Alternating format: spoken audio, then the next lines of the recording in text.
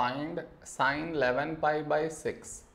To find this, we should follow this method. C. In the denominator we have 6. In the numerator we have 11. Now you should check 11 is close to which multiple of 6. What I mean is 11 and here you write multiples of 6. 6 and 12. Now 11 is close to which multiple? This is close to 12. So now 11 should be written as 12 minus 1.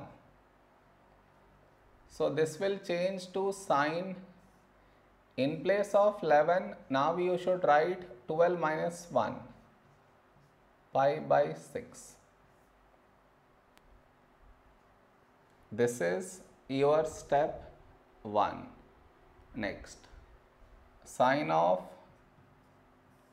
now you should open up the brackets so you get 12 pi minus 1 pi by 6. Next sine of, now you should split the denominator in this way.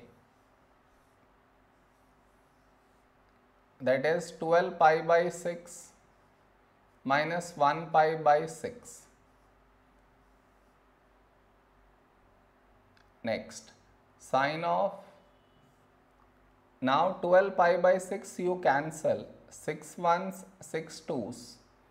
So we get 2 pi minus this angle as it is pi by 6.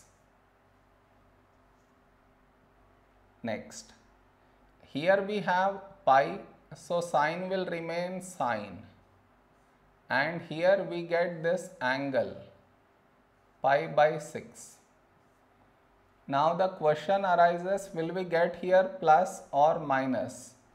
To answer that you look at this number. Here we have 2 which is even. So all the even multiples of pi lie in either in the first quadrant or in the fourth quadrant. So now to decide in which quadrant does it lie, we should look at this symbol here we have negative.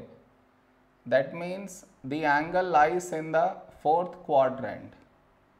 And in the fourth quadrant sine is negative. So put negative. So negative sine pi by 6 is 1 by 2. So this is our answer.